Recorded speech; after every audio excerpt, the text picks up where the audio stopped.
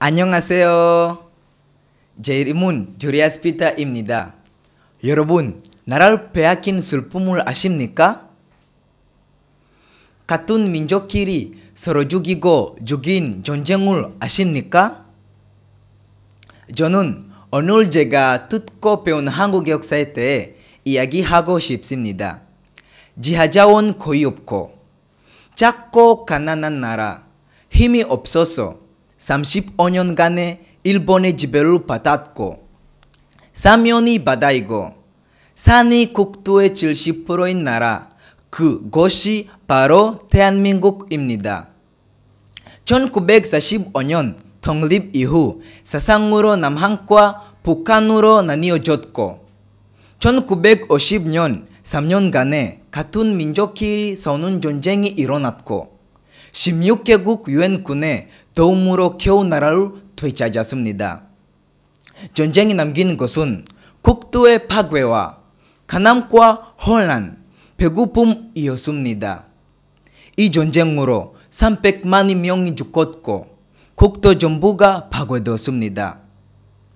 수많은 누나들이 동생들을 위해서 학업을 포기하고 봉제 공장, 신발 공장에서 주야, 삼교대를 하면서 돈을 벌어서 동생과 가정을 위해서 희생했던 아픔들. 가난과 고생을 무려 주고 싶지 않아서 그러면서 자식들을 학교에 보낸 부모들. 한국은 성장 가마성이 없다고 외신들은 하나같이 입을 말했습니다. 하지만 자원, 자본, 기술도 없었던 한국이 어떻게 짧은 시간에 성공할 수 있었을까? 저는 무척 궁금했습니다.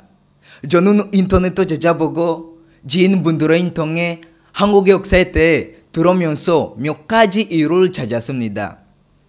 첫 번째, 지도자의 리더십과 강력한 지도력이었습니다. 그리고 우리도 잘 살아보자.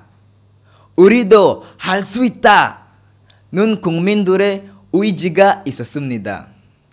두 번째는 바로 생각을 바꾸는 것이었습니다. 커피가 생산되지 않는 나라지만 커피를 수출하고 석유가 없는 나라지만 석유를 수출합니다.